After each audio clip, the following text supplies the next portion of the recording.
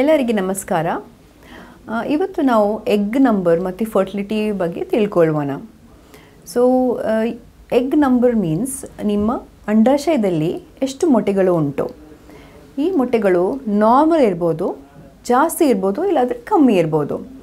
So ಈಗ ನಮ್ಮ ಎಕ್ಸ್ಪೀರಿಯನ್ಸಲ್ಲಿ ನಾವು ಏನು we are what we are seeing in our experiences usually ಪೇಷಂಟ್ಸ್ದು weight ಅವ್ರ ತೂಕ ಜಾಸ್ತಿ ಇದ್ದರೆ ಅವ್ರದ್ದು periods irregular means time time ಒಟ್ಟು ಬರೋದಿಲ್ಲ ಅಂದರೆ ಅವರಿಗೆ ನಾವು ಕೆಲವು ಟೈಮ್ಸ್ ಆಟೋಮ್ಯಾಟಿಕ್ಲಿ ಅವ್ರ P C O S or polycystic ovaries ಥರ ಲೇಬಲ್ ಆಗ್ತದೆ.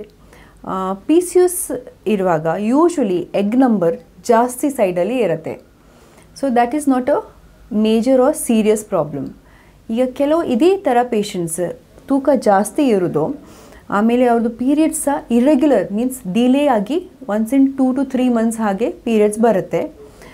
ಅವ್ರದ್ದು ಸ್ಕ್ಯಾನಿಂಗ್ ನಾವು ಕೆಲವೊಮ್ಮೆ ನೋಡುವಾಗ ಈ ಪೇಷಂಟ್ಸ್ದು ಎಗ್ ನಂಬರ್ ಆ್ಯಕ್ಚುಲಿ ಲೋವರ್ ಸೈಡಲ್ಲಿ ಇರುತ್ತೆ.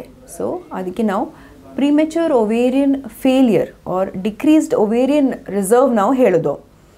ಸೊ ಈ ಪೇಷಂಟ್ಸ್ದು ಎಗ್ ನಂಬರ್ ಆಲ್ರೆಡಿ ಡಿಕ್ಲೈನ್ ಆಗಿ, ಕಮ್ಮಿ ಆಗಿ ಸ್ಟಾರ್ಟ್ ಆಗ್ತಾ ಇದೆ.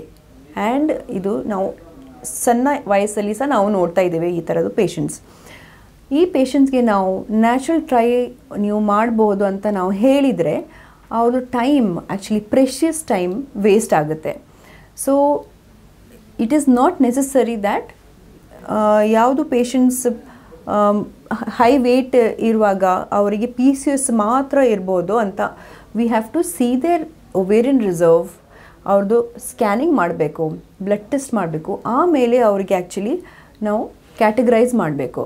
Are they having P C S or on the contrary ಅವ್ರದ್ದು ಎಗ್ ನಂಬರ್ ಎಗ್ ರಿಸರ್ವ್ ಕಮ್ಮಿ ಸೈಡಲ್ಲಿ ಇದೆ. So we should be able to give a correct advice to the right patient thank you